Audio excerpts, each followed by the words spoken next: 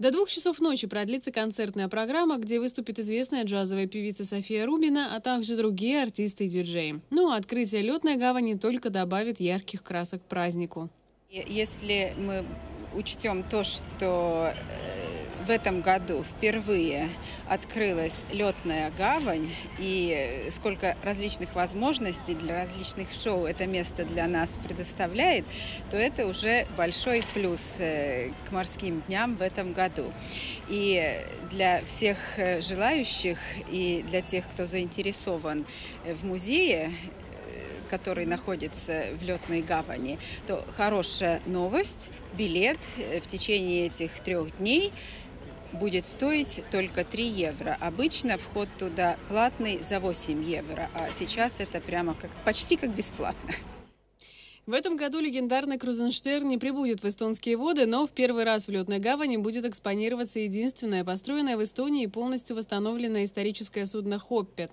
А вместе с ним и ледокол «Суртыль», корабли «Турм», «Каки», «Маре», «Сальме», «Сулев», «Эва-316», «Адмирал Коуэн» и «Герда». Наверняка большой популярностью будут пользоваться и экскурсии на разных видах морского транспорта. А если погода будет благоприятствовать, то есть высота волны будет не больше 30 сантиметров, то из Швеции и Финляндии прибудут будут гидропланы, которые покажут, как производится взлет и посадка самолетов на воду. Э, я надеюсь, что погода будет э, хорошая, и мы сможем посмотреть летное шоу гидро э, самолетов. Да. И, э, конечно, аттракцион будет э, сражение кораблей. И я думаю, что, как всегда, очень популярные путешествия на различных видах э, морского транспорта. Это как катера, парусники. И всегда интерес у посетителей к таким аттракционам очень большой.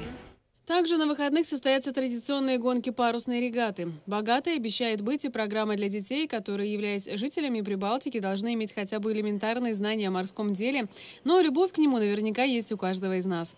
Более подробно ознакомиться с расписанием мероприятий можно на сайте Дней моря tallinnamerepaivat.ee. Елена Соломина, Вячеслав Скалецкий, Первый Балтийский канал.